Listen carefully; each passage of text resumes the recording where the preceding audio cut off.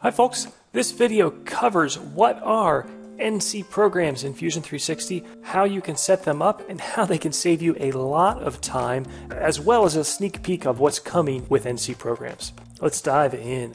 So the traditional workflow in any integrated CAD-CAM software is you'd bring in your solid model of your part, you'd switch into the CAM workspace, you would start applying toolpaths to machine that part, and then when you're ready to run the part on the machine, you would go to the post process option.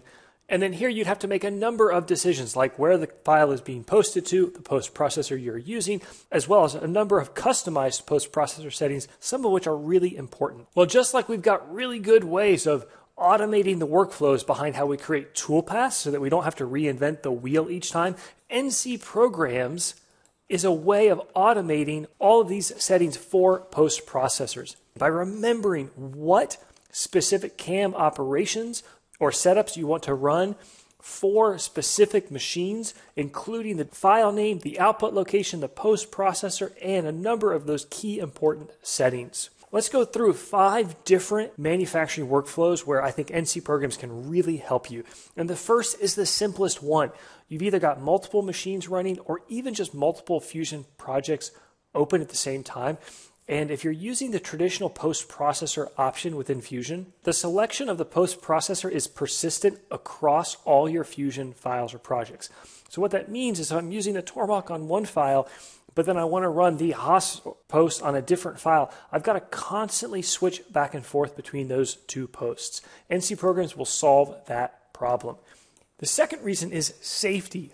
Using NC programs allows you to set the name of that program the post processor that's being used, the location that it gets posted to, as well as the settings. This is incredibly important to make sure you don't run the wrong code on the wrong machine, or perhaps select the wrong file name, or just post it to the wrong location. There's also some really important settings, like, for example, on a lathe post, this max spindle speed.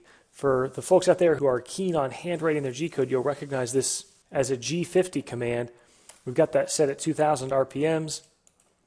This limits the lathe to the RPM set by the G50 command throughout the whole program, regardless of how you've programmed individual cam or tooling feeds and speeds. And this is a really important setting for lathes because as you increase the RPM, a traditional chuck will lose its gripping power. And you can also have issues whether you've got material sticking out the front of your chuck or perhaps your bar feeding in and you don't want to rotate higher than a certain speed due to safety or the potential of the bar whipping around. Number three, let's say you only have one machine, but let's say that machine has, say, a fourth axis. Well, you're probably going to use either two different posts or the same post but with different settings. Using NC programs lets you save those settings for how the fourth axis is set up on your machine. Number four is the ability to alternate between having the machine stop frequently for you to say check a part or check a tolerance or check a finish versus running it normally. So we've got numerous operations in this finishing strategy and we've created a manual NC that has all those operations selected. But what we can also do in this finishing strategy is start adding manual NCs with option stops. And we can place these intermittently as needed to force the machine to stop. Control D will duplicate them. We can drag these throughout our part and this will give you the chance to go over to the machine when it hits one of these option stops and inspect, again, the tool, the part, etc.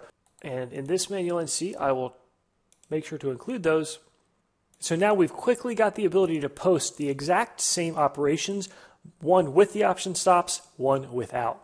The beauty of option stop is it's a toggle on your machine control. And if you toggle it on and your G code hits an option stop, it's going to pause and wait for you to come over, do whatever you need to do, inspect the part, say move a fixture, and then hit cycle start and it will resume.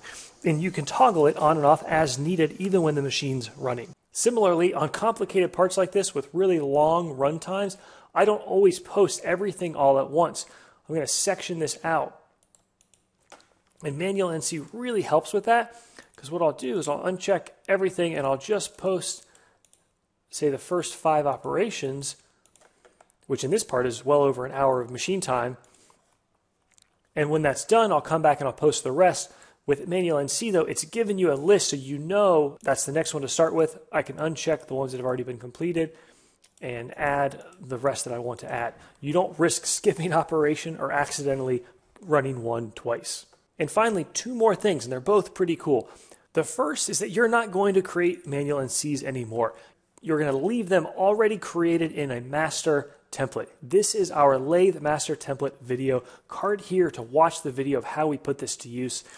We've got our work holding pre-populated cam. We're going to drop our part into it and the manual NC is already created for this machine. It's got our preferred file name, our preferred location, the correct post processor, and the settings that we want already saved. So in this case, I don't even have to create the NC program. However, if you do want to create your own, simply go to Setup, Create NC Program, and it's the same process as when you're creating a post processor. We could choose the name, we could choose our post processor, check our settings, okay, and rename it Lathe Optuvio uh, Demo. Right clicking on your NC program will allow you to post process the code right away. Other than the overwrite warning, you have no other prompts to click through or confirm. This case, it popped open the preview of the G code. If you don't want that, hop in, settings, uncheck open NC file and editor. We'll save that, and it will just post your code. Right clicking will also allow you to simulate or generate setup sheets for the included CAM operations. But what gets me even more excited is what NC Programs is the startup. And it's the start of tying in the connection between your part, your CAM, your machine, your settings, simulation, and that full picture of understanding a manufacturing workflow. A lot of this is still in beta, but even at Autodesk University last year, 2019, they showed some examples of stuff to come in the preview features, including things like machine configuration and machine models that are going to start to close the loop on things like confirming you've got the right post processor selected or even increased simulation capability. If you're watching this video just on YouTube, card here to the NYC CNC page we'll have additional resources on NC program, including relevant updates as its capability grows within Fusion 360. Otherwise, folks, hope you learned something. Hope you enjoyed. Take care. See you soon.